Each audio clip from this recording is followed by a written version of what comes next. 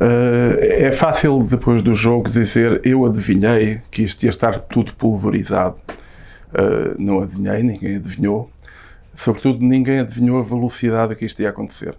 O que é surpreendente é a velocidade. Eu ainda me lembro de ir a Frankfurt uh, à Feira do Livro e haver um pavilhão, salvo em 97 ou 98, sobre o, o, o livro digital, feito pelos alemães, que estavam assim a pensar para a frente e no ano seguinte já não houve pavilhão porque foi um fiasco.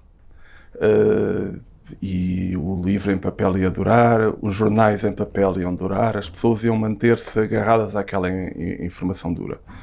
E, e, a internet já existia, começou a existir.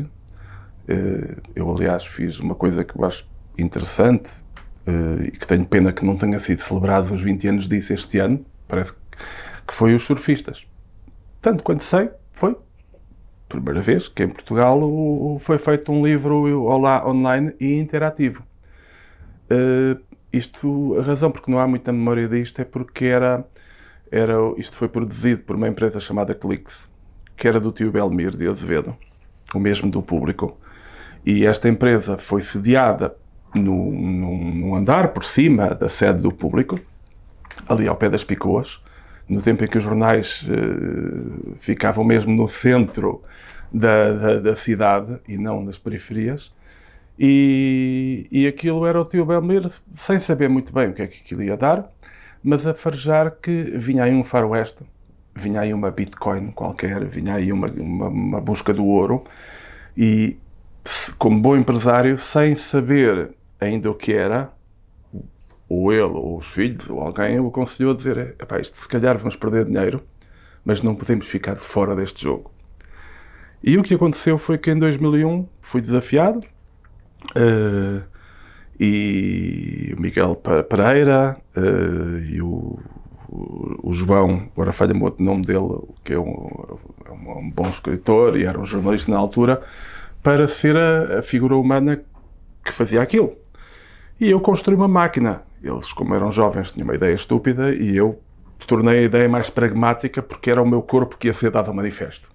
Eles estavam a sugerir que eu fosse todo nu para o meio, da, para o, para o meio, para o meio do campo de batalha lutar contra um exército de tanques e mísseis. Portanto, eles queriam Tiananmen à portuguesa. Eu disse, filhos, façam isso com outra pessoa.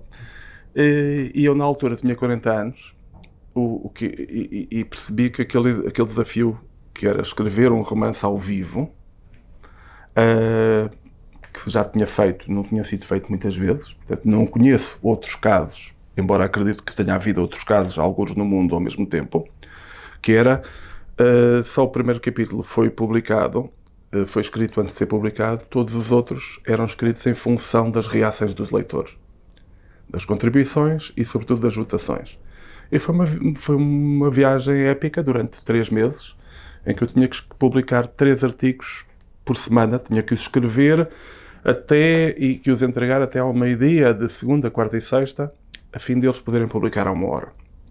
O que aconteceu com isto é que, uh, entretanto, isto desapareceu, o Clix perdeu os arquivos. Uh, isto depois foi publicado em livro, mas a Don Quixote herderam-lhe os arquivos. Mas eu tenho exemplares em casa, não tenho a maquete online interativa que era, acho que era muito interessante, muito interessante ele. Tenho ironicamente o registro em papel, mas não o registro em maquineta, em, em, em, em computador. Até porque naquela altura as disquetes eram diferentes. Portanto, isto tudo acelerou muito depressa. Mas o que aconteceu foi que o tio Bammer decidiu investir algum, algum, algum dinheiro. Como, como bom empresário, não sei em que é que isto vai dar, mas pode vir aí algo. Como, como no princípio do século XX, isto foi um século depois, isto foi 2001, o início do século XXI, e, e, aliás, poucos meses antes do início real do século XXI, já lá vamos, e o, e, o, e o que aconteceu foi que no princípio do século, do século XX nós imaginamos as pessoas a dizer, olha, aqui há cinema, agora há uma coisa chamada Hollywood, há para lá uns, uns barracos e uns tipos que fazem filmes, epá, não sei se invista. Investe algum. Nunca se sabe se aquilo vai dar. Isto ao mesmo tempo que investiam em carros elétricos, depois substituídos pelos carros a petróleo porque não eram tão rápidos Eram carros de senhora, os carros elétricos no princípio do século. E depois houve muitas coisas em que as pessoas investiram que, que vale a pena ver. Algumas são risíveis e que, e que, e que iam, dar, uh, su, su, iam dar sucesso, um pouco como, como os falhanços épicos das, das, das apps agora. Uh, aquilo foi um investimento muito curto. O Clix foi, desapareceu num espaço de dois ou três anos, portanto, como projeto. Uh, fizeram mais uma tentativa de fazer coisas criativas e depois foram molecendo aos poucos. Até, que, até, que, até que o Clix, basicamente, o tio Belmer desistiu. E o que aconteceu foi que um, isto, isto durou porque eu tinha 40 anos e 40 anos é uma idade ótima. Eu já tinha uma experiência de ser escritor para trás e tinha a experiência suficiente para perceber que este desafio ia ser um desafio mais físico, mais tipo homem da maratona, da Hoffman, do que propriamente, ah, eu tenho tanto talento e jeitinho. E, e, e, e, isso fez com que mais uns anos eu estaria cansado, uns anos para trás estaria verde. Mas lá aguentei e é engraçado que é o, o, resto, o resto não aguentou. Eu estava a fazer a coisa mais difícil, que era no espaço sensivelmente 32 horas, ver o que, o que é que os idiotas dos leitores tinham contribuído, ver o que é, em que é que eles tinham votado, uh, para ver como é que eu descalçava a bota e depois tentar resolver com alguma graça em 5 mil caracteres o, o, a etapa seguinte.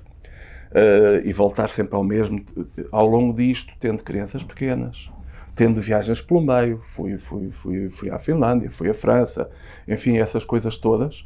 E, o, e, ironicamente passei por Frankfurt também, pelo, pelo Press Center de Frankfurt, de onde enviei, com muito medo de pôr lá vírus, o, o, o, texto que tinha mesmo para enviar entre aviões, para cumprir os prazos, e depois tudo o resto foi falhando.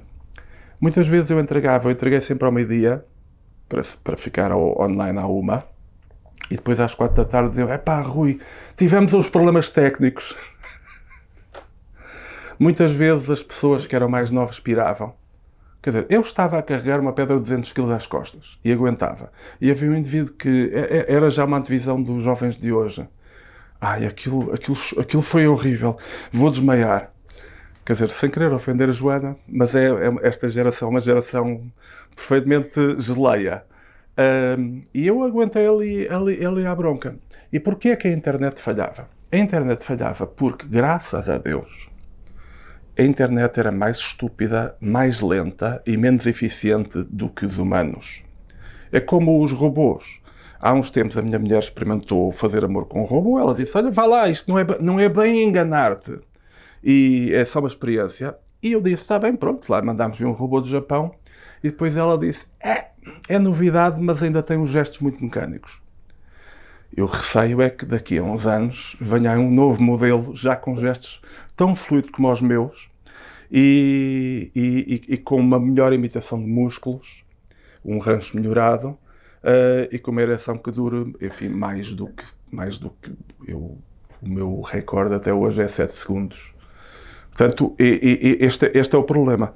A internet, em 2001, Odisseia no, no, no MySpace, a internet era ainda pré-histórica. Naquele tempo, eu achava que era uma das pessoas na universidade que estava mais à frente porque eu falava já daquilo. Havia uma pessoa tipo Olga Pombo na Faculdade de Letras que salvou, salvou na Faculdade de Letras, não a quero ofender, se calhar era direito, mas que, que já falava do hipertexto. Conceitos como o hipertexto eram, eram complicados de explicar e de compreender. Mas havia muito pouca gente a falar disto. Uh, eu lembro de uma, de uma entrevista de uma visão que fez um especial sobre o mundo digital e foram entrevistar duas pessoas. A primeira foi o especialista disto tudo. Obviamente, dizer, não preciso dizer o professor Marcelo. Não é? Portanto, o professor Marcelo foi explicar, foi a pessoa de que a revista Visão se lembrou para ir explicar e, e tentar compreender o conceito, o que é isto do, do mundo digital e da internet e, essas, e das redes sociais. E depois, à última da hora, lembrança, isso, isso chama-se um tipo que pelo menos, pelo menos já, já fez um clique. Uh, e então lá, lá, lá me ligaram. Eu lá disse umas coisas, mas depois, quando fui ler o artigo, obviamente, Foi, só, só vou ler jornais quando falam do meu trabalho, uh, com toda a gente. E o que aconteceu foi que eu li o artigo de fio a pavio e de repente descubro que só usaram duas palavrinhas minhas. Porquê? Porque o artigo já estava feito. E não se deram ao trabalho de, de, o, de, o, de, o, de o alterar. O que aconteceu é que o professor Marcelo ainda é mais velho que eu, portanto ele estava ainda mais fora do jogo. Portanto é ridículo, era mesmo a preguiça, a completa preguiça moral que também ajudou a deitar abaixo o jornalismo. E, e, e, e eu, pelo menos, eu pelo menos dava aulas sobre o assunto. Ou seja, eu pelo menos, cá está, tive o privilégio de estar em Frankfurt quando, quando houve o primeiro, o primeiro, o primeiro módulo dedicado ao mundo digital. Eu tive curiosidade, porque é a minha área, de ir comprar um objeto, já não me lembro, naquilo era de uma livraria americana, o Barnes Noble, ir comprar um objeto duro, um antepassado do Kindle, onde podíamos ler o texto, tentativas de imitação do papel, essas coisas todas. A altura andava na rua com aquilo e com o livro, depois a bateria abaixo e descarregava-se, aquilo era uma chatice, era lento, e, e como, como, tudo mais. Mas eu lembro que aquele especial, eh, aquele eh, eh, foi artigo de capa, era um disparate. Mas, mas isto era um disparate bom, porque era o santo, o santo reino da ignorância. Quando é que a internet virou perigosa? Virou perigosa quando começou a fazer amor com a minha mulher mais rápido do que eu. Ou seja, virou perigosa quando começou a ser tão rápida como nós. E depois mais rápida. Portanto, houve um tempo em que eu estava em casa, foi há 20 anos, em que eu estava em casa e, o, e, e eu, eu, eu de repente tenho uma palavra que quero encontrar e eu digo, vou procurar na internet. E a internet é tão lenta Pode ser, podem ser apenas 20 segundos, mas aqueles 20 segundos era uma eternidade tão lenta a mudar, tão lenta a buscar, tão lenta a aquecer, que eu disse: Não, vou aqui, tenho, eu tenho livros em casa, vou ao livro. E há um momento, eu vou dizer, vou dizer a olho, 2012, em que de repente nós deixamos de ir ao livro, deixamos de ir à enciclopédia e passamos a ir à internet porque ela virou rápida. Virou rápido. E hoje não só é mais automático, como todos nós temos, temos, temos no nosso bolso. O que é, porquê é que eu falo dos surfistas? Porque eles foram feitos entre julho, entre, entre salvo erro, 6 de, 6 de junho e 31 de agosto de 2001. E 6 de junho, eu lembro-me que foi de manhã, eu fui ao funeral de um, de um último grande editor, que era o Hermínio Monteiro, da Assiri Alvim, que conseguiu construir, só com lábia, uma editora de poesia com sucesso. Portanto, o, o, era uma editora de poesia uh, que ocupava um lugar que hoje há, há, outras editoras a tentarem ocupar um lugar parecido, mas não conseguem com aquela autenticidade e aquela força. E, e, e, a, e a, morte do Hermínio Monteiro uh, foi quase um sinal. foi a morte de um mundo editorial que era um mundo editorial que tinha muito a ver com, com os mídias, que era, era na rua Diário de Notícias, eu encontrar o Hermínio às duas da manhã e ele diz, epá Rui, um, saiu agora um grande livro de poesia, tens que o ler, dá um abraço. E eu só anos depois descobria que sempre que ele me dizia às duas da manhã na rua de Notícias, no bairro Alto, não sei porque era sempre às duas da manhã na rua de Notícias, no bairro Alto, Podia ser às 2h15 ou às 2h14, mas era sempre às 2 da manhã na Rua Diário Notícias, no Bairro Alto. E Rua Diário Notícias, porque no Bairro Alto havia a Rua Capital, havia a Rua Luxuriano, onde estava o Diário de Lisboa. Ou seja, os jornais e as editoras estavam ali. Era ali, estavam ali. Portanto, estavam ao vivo e era ali que estavam as impressoras, e os jornalistas iam ver as primeiras tiragens, e os jornais saíam, e, e há um tempo com o qual eu cresci em que chegaram chegavam a haver três tiragens por dia. Havia os jornais da manhã, os jornais da tarde, os jornais do início da tarde, o jornal do, do fim da tarde, a tiragem ah, de última hora, os Ardinas, enfim, todo este universo.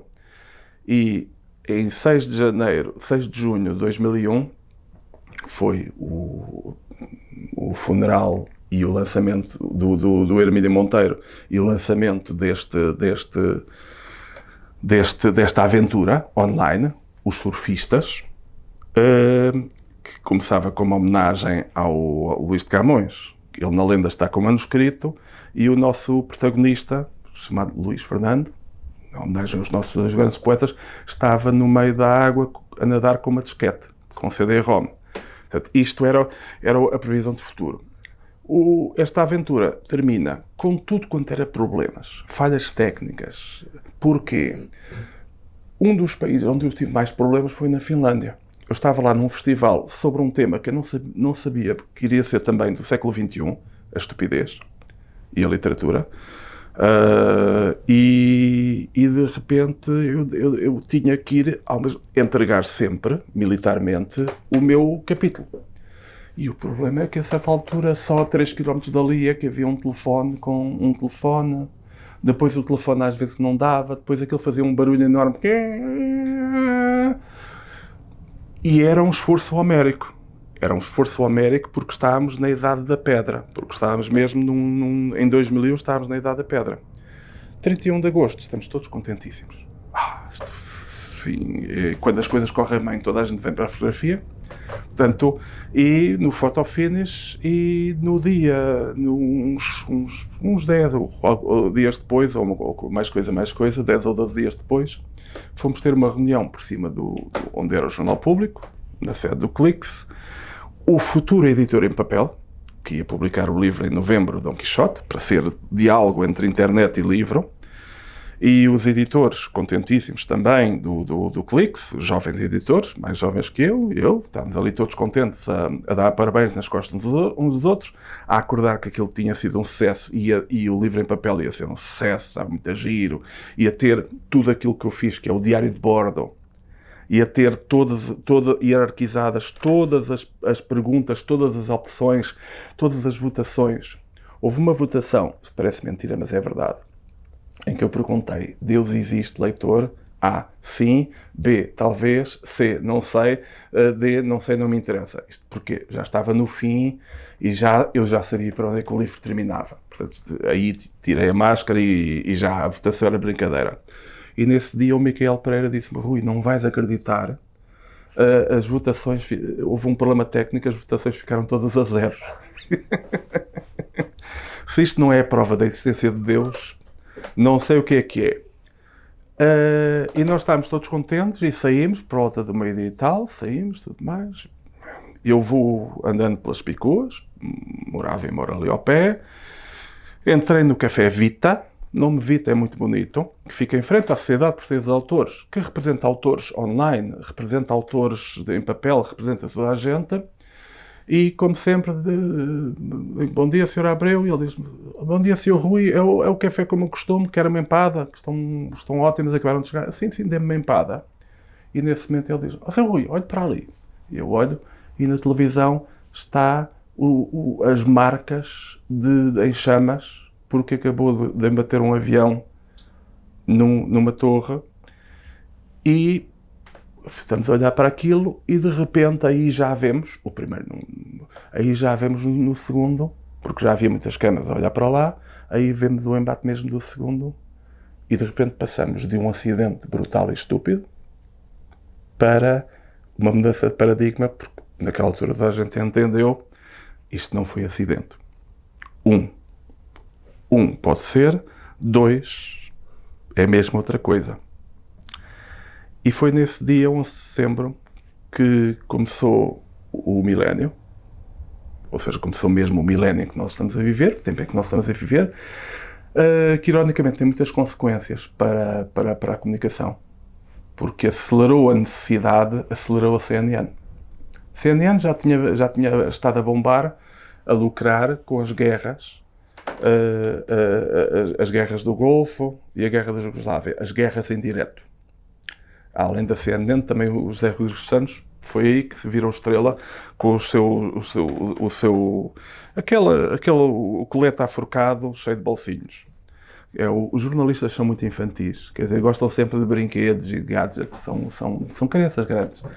E, o, e, e começou ali a carreira dele, começou ali também na, uh, e, e, a CNN tornou-se uh, a emissora que, que faz noticiário sempre como faz noticiário sempre, tem que ter notícias para dar.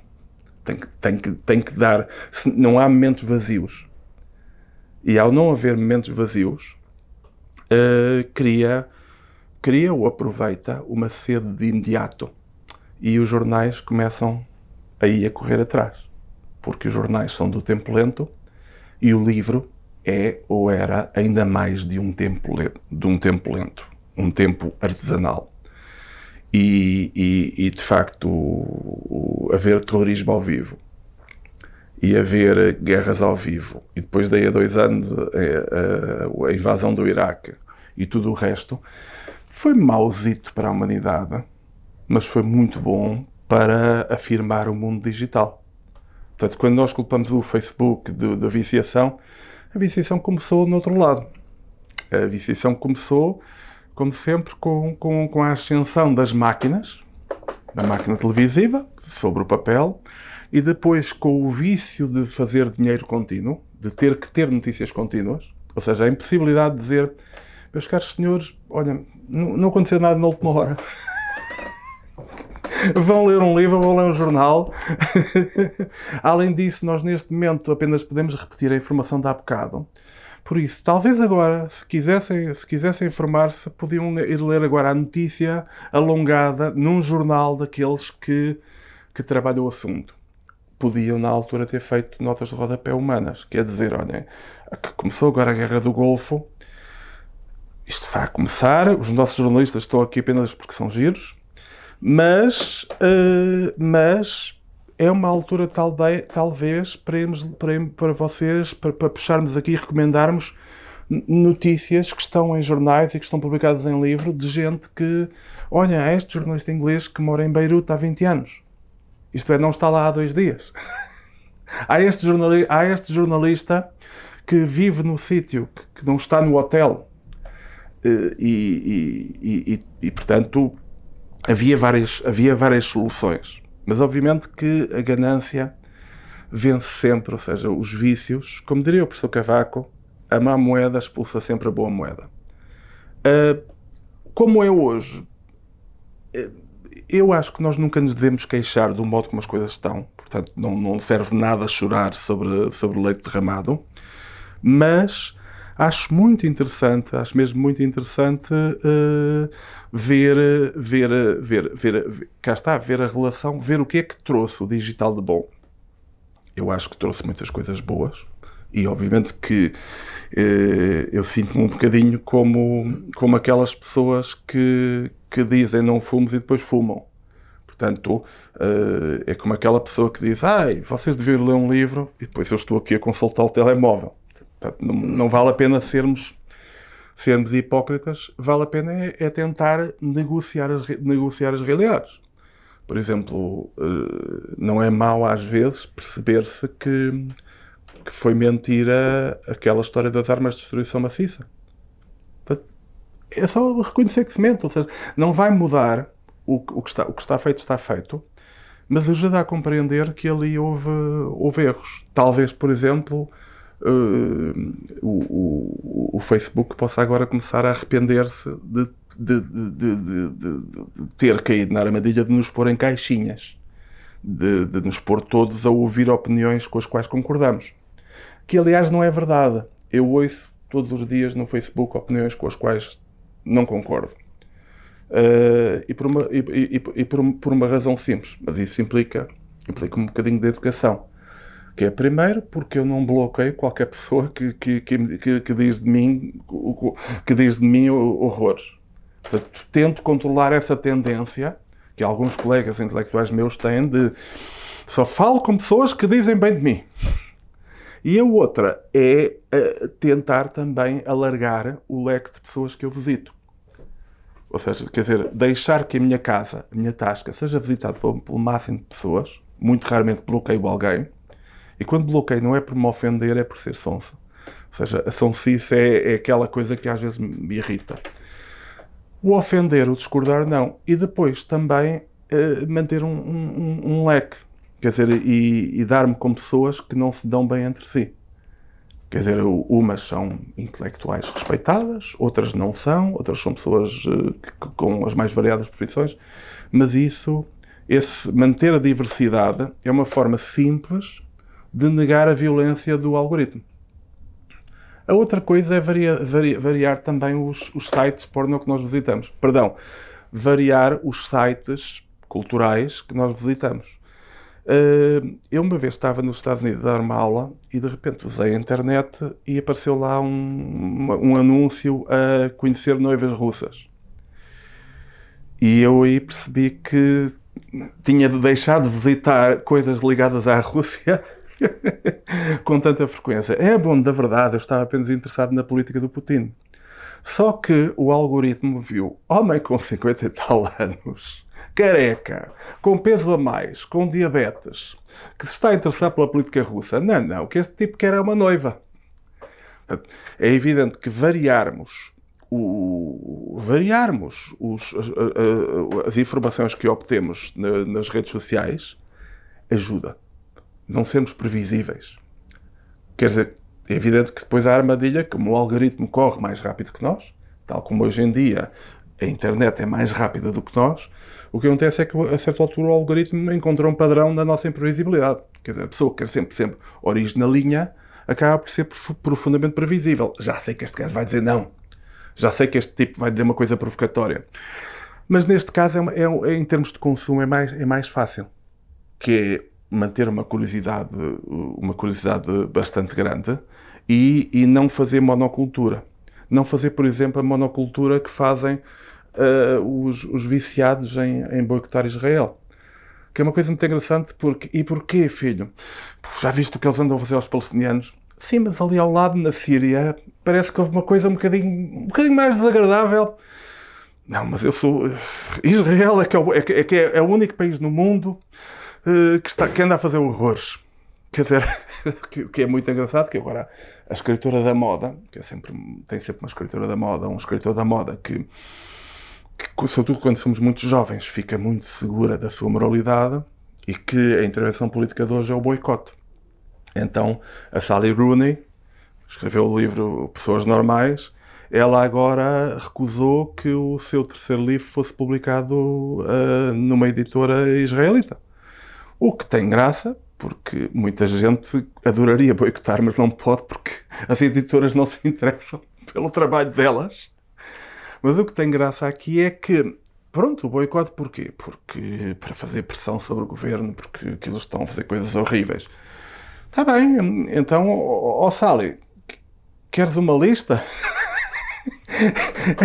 é porque eu posso dar uma lista. Olha, boicota a Espanha por causa, da, da, por causa daquela problema da, da questão catalã boicota a Inglaterra por causa do Brexit, uh, boicota, opá, boicota a Colômbia por causa de não, não conseguir nunca mais ter paz interna, boicota aos Estados Unidos por, por, por, 30, mil, por, por 30 mil razões, uh, boicota a França por, por, por continuar a investir brutalmente no nuclear, boicota a Alemanha pelo que fez à Grécia.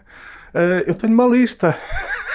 a certa altura, eu presumo que se for coerente deixará de publicar o que a mim me dará algum consolo, porque posso dizer: Yeah! Vendo mais exemplares que a Sally. Mas se não, e entristece-me isto ver num escritor, que é, se, se, não fizer isso, então o protesto é como aquelas pessoas que põem o carro no passeio e se indignam com as, com as trotinetes que estão a impedir as pessoas, de andar, as velhinhas, de, de, de andar. Portanto, é, é, é, o que, é o que eu chamo rebelião decorativa. Que é uma coisa também muito desta geração. para mim, este problema, este problema é sempre, é sempre aquele que é. Eu não posso. Uh, não depende de mim chover hoje, mas depende de mim o modo como, como, eu, como eu reajo a isso. Uh, o que acontece é que nós todos achamos que somos Michael Corleone, para usar uma imagem de um dos grandes, um dos grandes mitos da nossa cultura. Todos nós pensamos, e, e, e, que é interessante porque nos anos 70 tivemos um herói, um mafioso como herói, que sempre foi um problema do, do Robin dos Bosques. Mas depois, nos anos 90, começou a descambar e passámos a ter uh, serial killers e canibais como heróis. E o, o Aníbal Lecter passou do livro para o cinema e depois passou para o Dexter, a série em que há um, há um, há um assassino em série fofinho, mas não faz mal porque ele só mata maus. Isto mostra, diz, diz muito sobre nós. Mas no, no, aqueles três irmãos, Karamazov, como no, como no Dostoevsky, que é o Michael, o Santino e o Fredo, nós gostamos sempre de nos imaginar como o Michael, porque o Michael, não é interpretado pelo Al Pacino, é o inteligente, é o tipo calmo, é o tipo que tem uma coragem discreta, uma coragem suave. E depois há o Santino, que é o intempestivo, um bocadinho bruto, e depois há o Fredo, que é o fraco, o, o indivíduo fraco, o frágil, e, e, fraco em todos os sentidos, moralmente fraco, é um, é um traidor nato, é um indivíduo que se queixa sempre do mundo. E a verdade é que nós todos gostamos de nos imaginar Michael, mas na verdade somos todos um bocado Fredo. Quer dizer, uma quantidade enorme de pessoas portuguesas, europeias, humanas, faz parte da natureza do mundo, e nós somos também assim, não vamos dizer, ah, exceto nós, uh, é profundamente mole, cobarde, facilitista e preguiçosa. E, e fascista. No meu manual do bom fascista, desculpa lá, mas tinha que fazer publicidade, não, não há entrevistas grátis. No meu manual do bom fascista, eu refiro a certa altura, que é muita gente que diz: Ah, este gajo está a chamar fascista a toda a gente. Por acaso estou.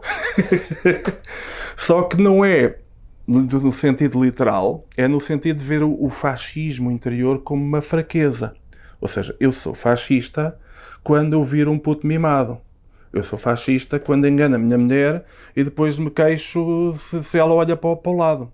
Ou seja, eu sou fascista quando digo este cambada de incompetentes e depois eu faço igual ou pior.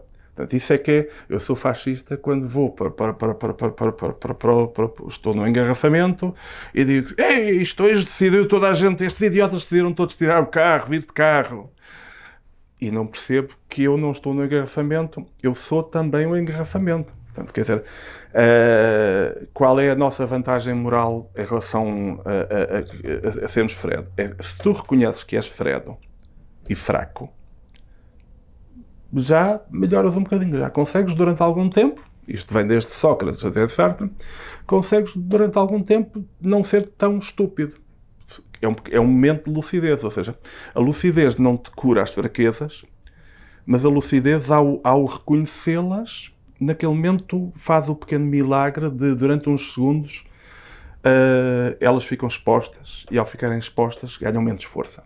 Portanto, o, o, o meu bom fascista é o, é, o, é o português fraco, é o humano fraco, é a pessoa que, que aponta o dedo aos outros que é um vício que vem, que, que, que é, um, é o lado da infantilização da política e que é visível nas entrevistas. Eu, eu, acho que, eu acho que deviam, neste momento, ser ridicularizados, devíamos fazer tipo maoísmo, por os rostos todos dos indivíduos que ainda este verão foram entrevistados para vários jornais, lembro do Público e do Dia Notícias, uh, muitos deles políticos, mas outros deles com outras profissões, e que quando lhes faziam esta simples pergunta, qual é o seu pior defeito?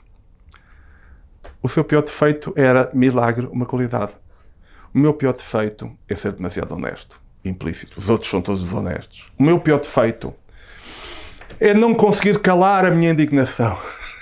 O meu pior defeito é ser muito mais bonito que os meus adversários. O meu pior defeito é ser frontal. E eu acho que essas pessoas, o mundo avançava, Portugal avançava, se fosse ridicularizado em público assim ao molho, para se sentirem acompanhados. O ridículo que é ter funções públicas.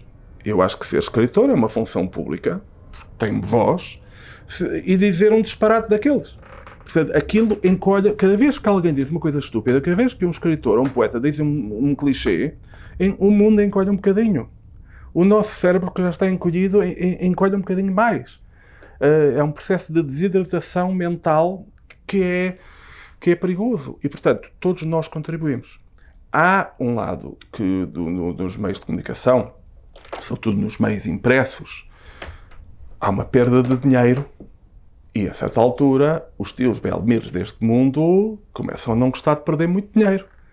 Até porque uma das razões para terem o jornal e o pagarem principescamente ou bem aos jornalistas era que perdiam dinheiro, mas de vez em quando tinham uma esfera de influência havendo menos gente a, a, ler jornais ou deixando o jornal de ser a fonte principal de informação de quem tem poder ou de quem queremos influenciar, aí uma pessoa pergunta para que é que eu estou a perder este dinheiro? Portanto, há um desinvestimento paulatino dos barões da imprensa uh, porque deixa de haver uma razão explícita para, para estar a investir aquele, aquele dinheiro. Porque isto não é. Eu não estou a chamar corruptos aos jornalistas. Estou a dizer que, estou a dizer que não há almoços grátis. E que não, não é, isto não é corrupção, isto é natureza humana, que é simples, que é o, o, o, eu acho bem que um político daqueles que seja contra a corrupção ou, ou contra a droga, acho muito bem que, que, que esse mesmo político diga os, os, os, os traficantes têm que ser punidos com 20 anos de prisão. Acho muito bem quando o filho dele for apanhado a traficar acho de Marrocos, que ele diga: bem, temos de compreender, é apenas um jovem. Porque se ele for justo, é um Robespierre, que é a forma mais desumana que há. Se ele for justo, é como aqueles malucos da extrema-esquerda que amam tanto a humanidade que não amam ninguém. Como os malucos antitouradas, que amam tanto os touros e amam tanto os animais, amam tanto a vida, que depois vão para o Facebook destilar ódio e fé e contentamento e contentinhos porque um forcado foi estropiado. Hehe, bem feita! Oh, oh! E depois eu vou lá, não, não consigo resistir. Opa, tu estás a ser aquilo que, aquilo que criticas. Tu és um sádico. e pior do que, do, do, do, do, que o forcado ao toureiro. Porque eles ao menos estão a lhe dar o corpo. Tu não, tu estás, estás apenas a rir-te de uma imagem de tortura. Entre ti e um daqueles tipos que se baba a ver uma foto de uma tortura em Abu Ghraib, a diferença é zero. Mais, respeito mais o gajo que se baba com a foto de Abu Ghraib. Porque ao menos este acha que aqueles são terroristas que merecem tudo. Portanto, o que acontece aqui é que uh, nessas essas euforias puritanas, que são mais típicas de esquerda, é, é o ponto em que a desumanização de esquerda toca a desumanização de direita. Quer dizer, não há desumanização como a de direita, porque não há mal como o do Hitler. Mas a esquerda tem momentos em que, felizmente, a nível individual, pequenos grupos, em que ama tanto a humanidade que não ama ninguém. E agora eu podia dizer: olha, esta ideia é incrível vem da minha cabeça, e posso dizer, porque vem da minha cabeça, porque eu sei que vocês não leram os livros que eu li. E como sei que quem está a ouvir-nos não, não leu, isto é, alguns terão lido, mas estou a apostar na, na ignorância, do, do, na ignorância do, do, leitor e do espectador, que hoje é uma bela aposta. é, é, uma, é uma aposta plausível. Quer dizer, é, é, é, é uma, uma aposta com grandes probabilidades Uh, uma pessoa diz: Ah, esta ideia é minha, é um filósofo, é brilhante. Não, é isto que eu acabei de dizer vem num livro do Camus, que eu aconselho a toda a gente, publicado em português, na edição Livros do Brasil, uh, chamado Justos. E que eu aconselho, é uma peça de teatro que se lê numa hora e que encena precisamente isto, muito antes das Brigate Roça e tudo mais. Portanto, a desumanização do outro é sempre, é sempre, é sempre perigosa. O que acontece aqui é que o papel, uh, o, o, estávamos a falar da, da corrupção, quer dizer, é evidente que se um capitalista, por melhor pessoa que seja, decide, decide perder dinheiro, pagando para ter um meio de comunicação, porque, porque aquilo perde, perde dinheiro, mesmo com publicidade perde dinheiro, uh, é evidente que algum retorno quererá ter. Qual é o, o, qual é o problema com a corrupção? É o grau. Isto é, se uh, todos os dias aquele jornal tiver loas ao, ao, ao, ao, dono, ai que bom que ele é, ai que maravilha que este homem é, bom, então estamos na Coreia do Norte, não é? No culto de personalidade. Mas se for apenas para quando houver um pequeno escândalo, o pôr na, o pôr na, página, na, página, na página 20, uma página par, no canto inferior esquerdo, sem destaque, em vez de a pôr como manchete na, na primeira página, eu consigo viver com isso. E esse é um contrato implícito para quem sempre trabalhou em jornais, que é o contrato implícito, que é, epá, vamos ser honestos, mas a lealdade aqui é a hora que nós dizemos não vamos dar este escândalo no, no, no, no, onde, onde seja mais visível, não vamos dar destaque, vamos informar, mas não vamos fazer aquilo que é fundamental nos jornais, que é sublinhar. Uh, o que acontece? Os investidores deixaram de, de, ter tantas razões para investir e, e, e, passou a haver menos dinheiro. E passou a haver menos dinheiro, começaram a, a haver cortes. A certa altura, quando os jornalistas aceitam os cortes, a natureza humana do investidor diz epá, este gajo aceitou, aceitou, aceitou que eu lhe metesse um dedo de forma até bastante pacata, vou tentar enfiar dois. E, o, e, e, e, isto, e, do ponto de vista dos jornalistas é também, opá, eu, aquilo, até onde é que eu posso aceitar menos salário uh, continuando a manter a qualidade? Aí começa o taxímetro. E aí muitas vezes os jornalistas começam a dizer, opá, não, não me pagam para isto. Depois a rede do capitalismo funciona, que é temos aqui estes jornalistas bons, mas velhos, que só produzem uma peça de duas em duas semanas. É sólida, é muito boa, dá prestígio, mas nem sequer é mais, li é mais lida. E temos este jovenzinho que custa metade do preço, que não sabe ler nem escrever, mas até está a fazer umas coisas giras que no outro dia teve um sucesso enorme. No mundo, por exemplo, do livro, isto mudou quando, quando se descobriu o filão da não-ficção. E de repente o, o editor Vedeta, na editora, passou a ser o jovem que conseguiu ter a biografia uh, do, do, do, do, do engolidor de facas, uh, ou do tipo que faz, uh, do, do, tipo, do tipo que matou a sogra, e consegue o exclusivo de ter a, de ter a autobiografia dele escrita por um escritor fantasma, em, em vez do escritor de não, o escritor de literatura, o editor de literatura que já ninguém compreende porque é que ele ainda publica uh, a, a, aquela velhinha da, da Agostina, porque já ninguém percebe sequer o, já só com dicionário se pode ler uma, uma página delas e leva-se 10 minutos a ler. Uh, a preguiça começa a ser mútua. Quer dizer, parece-me aqui sempre muito muito, muito importante entender que todos somos responsáveis ou por sair da fossa ou por entrar na fossa.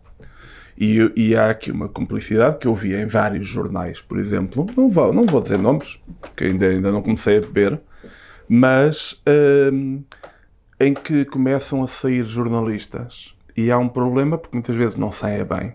Saem bons jornalistas, vão parar o desemprego, que é uma coisa sempre incómoda, e há aquela sensação de que os que ficam tentam explicar a si próprios de que estão a tentar salvar o barco uh, para não, não se olhar ao espelho e dizerem nós somos os que conseguimos sobreviver. Nós somos os que, os que ficamos aqui, aqui uh, uh, agarrados ainda. Nós somos os que conseguimos um eu gosto muito destas imagens eh, pop porque são boas. Há bocado falei do, do, do Michael Corleone e do, e do Fredo, dizendo que nós gostaríamos de ser Michael Corleone, mas na verdade somos Fredo Corleone, somos uns fracalhotes do, do, caraças e uns cobardes e uns fascistas. Porque o fascismo é uma fraqueza moral, é também um sistema político, mas é uma fraqueza moral. Que é, quando eu estou bem, se eu estou apaixonado, eu, tudo é flores. Eu estou apaixonado. Olha ali um, um refugiado. Seja bem-vindo, homem. Olha ali um imigrante. Ai, que bom. Epá, vou agora a esta mercearia. Gosto muito deste Bangladesh. É um gajo porreiro. E as mulheres maravilhosas. E os gays, porque não hão de ser felizes como toda a gente. Se de repente eu me pico-me um bocadinho, não é preciso acontecer muita coisa. Basta acontecer-me um dia mau Basta um dia mau para eu dizer, pois vem para aqui a nossa terra, roubar as nossas mulheres, isto agora é tudo das gajas, agora para, para, para, para, vingar, para, vingar, para vingar é preciso ser gay. É preciso... O, o, o, está cá dentro sempre o idiota em nós e só precisa de, de, de nos apanhar num momento fraco. Portanto, o, aquele momento, todos os indivíduos que matam o cônjuge, são tudo homens, mas também algumas mulheres, são uh, nos homens costuma ser uma coisa muito imediata, muito impulsiva. Esses indivíduos, eles, eles na verdade, é o, é o, é o, estão no ponto máximo da fraqueza moral. Isso não deve impedir que sejam presos e bem presos, mas é reconhecer que, que, que aquilo é um, é, uma, é um momento de fraqueza terrível, são mesmo uns soninhas. Naquele momento, são, estão, são mesmo a ser, a ser soninhas. Como agora a epidemia de violência que há, é sintoma de que as pessoas estão soninhas. Até porque eu nunca vi um bêbado a bater num tipo maior. E nunca vi um tipo tão irritado e frustrado por bater em algo, a, bater, a bater numa, numa parede. Uh, portanto, aquele segurança em, em, em, em Albufeira que bateu, bateu em quem podia bater. E saiu com a força do medo, tudo aquilo. É, é o medo que, que, que, que impele aquela, aquela, aquela violência súbita, é a raiva, é a fraqueza. Portanto, são momentos de, de fraqueza. E, portanto, falei do momento de fraqueza, que é Michael e Fredo. Agora gostava de falar de outro momento, para falar de jornalismo, que é, nós todos vimos o Titanic, quer dizer, é um, é um daqueles pecados inconfessáveis, é, é daquelas coisas, quer dizer, e uma pessoa assume, e, e, e, no Titanic há o Billy Zane, que faz de aristocrata mau, é o, o, noivo lá da Kate, Kate Winslet, que, é, uma, que é, um, é um tipo sem, sem, sem, sem, sem valores, imoral, uh, e que no fim, para salvar a vidinha, uh, quando nos botes vão sobretudo mulheres e crianças, mulheres e crianças ricas. Portanto, os, os, pobres, os pobres, nos pobres não há mulheres nem crianças, nem há humanos. Há pobres. Portanto, podem morrer afogados. Mas quando estão todos no salva-vidas, uh, ele, para conseguir o lugar no salva-vidas, disfarça-se de mulher. Que é, naquele filme, é o limite, é o paroxismo uh, da cobardia. No polo oposto está o nosso bom, bom Leonardo DiCaprio, que é tão, é tão macho, é tão generoso, é tão bom, é tão heróico, que até sacrifica a própria vida em nome da amada, que apenas conheceu durante umas horas. E, portanto, são o, o polo oposto. É evidente que nós, como espectadores, estamos sempre do lado do sou o rei do mundo. Estamos sempre do lado do Leonardo DiCaprio. Mas, na verdade, ó oh filhos, jornalistas portugueses, vocês são quase todos como o Billy Zane, uns totós. e, e, e, e, se assumirmos, somos mais felizes. Ou seja, dizer, não tem mal nenhum. Nós somos, andamos todos nesta vida, nenhum de nós é um herói. Mas somos melhores pessoas quando percebemos que somos mais parecidos com o Billy Zane, que, que, faz tudo o que for necessário para sobreviver, do que com o herói que, que, que, faz o derradeiro sacrifício, que é abdicar da própria vida para que a Kate Winslet possa ir mais aconchegadita lá na jangada. Portanto, isto sobre o jornalismo é isto. O jornalismo português é mau, é o que há, é, é como, é como o que há mundo fora, só com menos dinheiro. E é evidente que nós sabemos isto, quer dizer, nos, em certos países ainda há jornalismo de investigação, porque ainda há um contrato honroso que é: é pá, João, tu és um grande jornalista, eu acredito em ti, tens capacidade de trabalho, metes um bocadinho da coca, mas pá, vícios não são vícios, não, não importa, mas, mas és um cumpridor. Portanto, se eu te vou dar carta branca e seis meses, não és obrigado a aparecer cá continuas a receber um, um, um, o salário mensal, mas depois apareces com essa tal peça que prometeste, eu, eu, eu, e então aí fazes jornalismo de investigação. Por, por ironia, quem faz isso no Expresso é um bocadinho o, o Miquel Pereira. Deve haver mais, mas ele, como trabalhou no Clix, naquele projeto, como foi, foi ele e o João Lopes Marques, que, que vieram propor uh, fazer aquele projeto dos surfistas. Portanto, é, eu sigo, acho muito engraçado o, o percurso, o, o, percurso. E o que acontece aqui é isto: é, uh, é preciso, é preciso, é preciso esse, esse, dinheiro e esse investimento e essa crença na capacidade ética do, do jornalista para lhe dar espaço. O que acontece é que os jornalistas não só estão a ganhar pouco, como não estão a ter espaço. Quer dizer, como não têm tempo. Não, não, tens que aparecer cá amanhã. Tens que fazer isto, tens que amochar. E isto é uma coisa que acontece em todas as áreas. E para mim, o, o problema que se coloca em relação ao, aos jornais, em relação aos livros uh, e em relação a muitas outras atividades ligadas, sobretudo à cultura, é o quererem cada vez mais que nós carreguemos mais coisas às costas, dando-nos cada vez menos condições. Quer dizer, que isso, esse é o, é o esse é, é a pescadinha de rabo na boca do cinema português.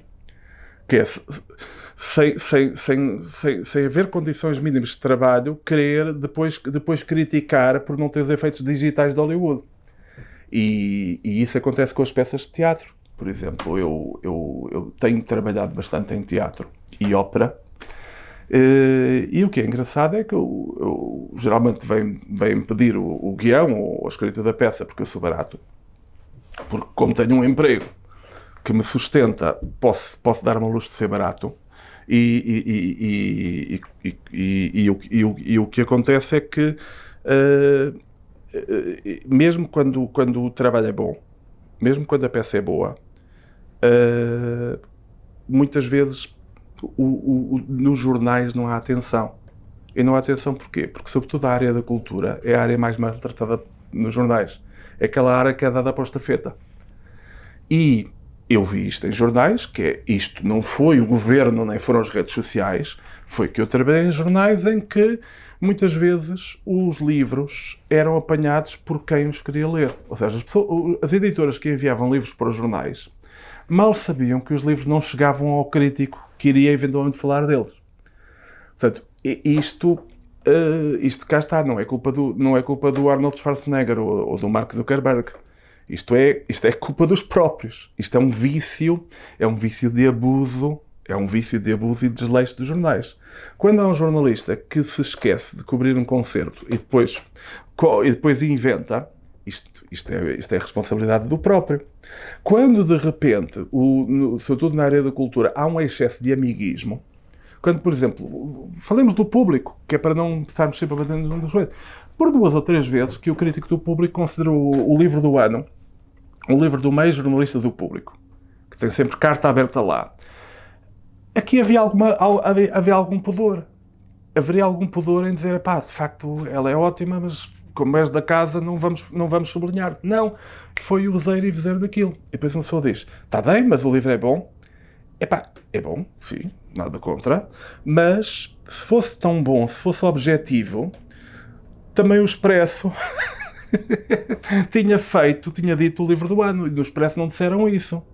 Portanto, é, é, mesmo, é mesmo jogo caseiro. Há uns anos, morreu uma pessoa que trabalhava no público, que foi a Teresa Coelho, que merecia tudo, que era uma pessoa ótima, morreu com 51 anos, salvo erro. E o que aconteceu é que o público dedicou-lhe naquele dia, foi um daqueles dias, muita fraqueza moral, foi, foi um dia fredo.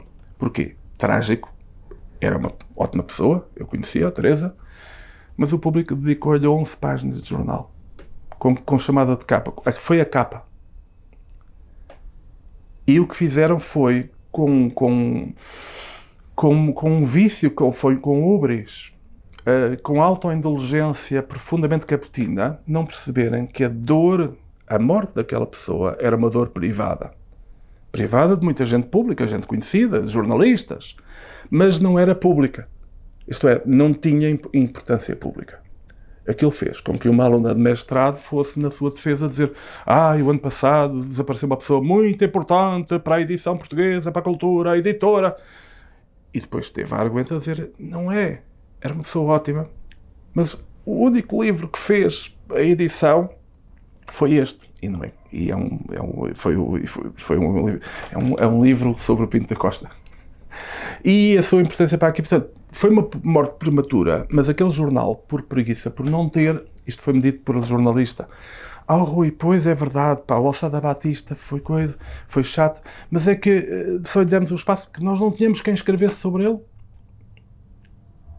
Isto é um jornalista a comportar-se como aquela pessoa que diz: Eu estou assim acima do passeio, mas onde é que quer que eu ponha o carro? Onde é que quer que eu ponha o carro? Isto é um bebê chorão. Portanto, não tinham, arranjassem. Agora, tinham, eu lembro-me, aliás, foi uma altura em que morreram três, duas pessoas importantíssimas para a edição: o Assa Batista e o, o, o Rogério de Moura, da Livres Horizonte, que eram dois gigantes do mundo em papel português, dois, dois homens com uma história incrível. O que acontecia? Como os dois morreram nos seus 80, já não tinham amigos no Lux já, já não iam para os copos com os jornalistas. E isto, este tiro no pé, não foram os outros que o deram por nós. Quer dizer, portanto, é, é, é sempre importante dizer que os nossos inimigos querem, querem, querem pisar-nos. Agora, alguns dos tiros foram dados foram fogo amigo. E isto é um exemplo de, de não cumprir as regras. Por exemplo, eu gosto de atacar o, o público, porque é um jornal que eu gosto. Agora, por exemplo, o escândalo em, bola com a Raquel Varela. Quem começou foi o público com uma chamada de capa uma página inteira para um assunto que ainda está por esclarecer. É o lado para que eu durmo melhor se ela for terrível pecadora. É o lado para que eu durmo melhor. até porque não gosto de pessoas que têm mais sucesso que eu, mas se mas a verdade é que, lendo aquela notícia, não há. O jornalista está a pisar num terreno sobre o qual não investigou. Ou seja, haverá um escândalo, e se houver escândalo, um dia deverá ser, deverá, deverá, ter, deverá ser noticiado, mas naquele momento, aquilo, aquilo, tudo aquilo cheirou a frete. Cheirou a frete e cheirou, cheirou a, a um jornal que se diz sério, que até tem um livro de estilo, a ir atrás atrás do, do, olha, vamos, vamos picar esta gaja. e cheirou-me também a Joacine. Que é, uh, que é Joacine, para mim, é um. Quando uma pessoa me diz, então, mas há racismo em Portugal, Joacine. Porque a Joacine foi a orgia que houve nas redes sociais. Foi um dos momentos bonitos. Foi bonito, de certo modo. Foi horrível e atroz. Mas ao mesmo tempo foi também um momento bonito porque foi um momento de comunhão entre, entre adversários. Geralmente diz as redes sociais são inimigas de jornais. O que eu acho errado. Acho, não gosto dos tipos que escrevem jornais e que desdenham das redes sociais, porque como os filhos da mãe no Castelo da Crónica Paga, o Fidalgo a dizer ali aqueles vilões. Eu gosto de estar com os vilões. Também gosto de estar no castelo. Quando posso, estou no castelo e estou com os vilões. Mas não desdenho de, de que dei o microfone a pessoas que, que eu não gosto tanto de ouvir. Voltando a, a, ao caso da Joacine, foi um momento de comunhão incrível, que eu acho que isto merecia um estudo pela FCT, se, pela Fundação Ciência e Tecnologia, só que eu recuso-me a pedir uma bolsa a uma coisa que se chama Fundação para a Ciência e Tecnologia. Se tivessem lá a palavra cultura pelo meio, eu ficava mais contentinho. Mas o que acontece aqui é isto: é o ódio à Joacine, a violência com que como que houve assim, foi, foi um momento quase místico, porque foi uma aliança entre redes sociais, jornais, gente da direita, gente da esquerda, gente inteligente, gente burra, toda a gente a cascar na Jenny, porque ela pecou. E o que é engraçado é que, cá está, não me interessa se ela errou muito ou pouco, o que me interessa sempre é, é o, o que me interessa sempre aqui, porque eu sou Fredo e sou Billy Zane no Titanic, mas gostava de ser, gostava, gostava de, gostava de ser ao menos, por, ao, menos, ao menos por um dia na vida ao Leonardo, não é? Uh, o que eu vejo aqui foi aquelas pessoas que se indignam por haver uma trotinete a impedir as pessoas de andarem no passeio e não, não veem quando há carros estacionados em fila durante, ao longo do passeio todo.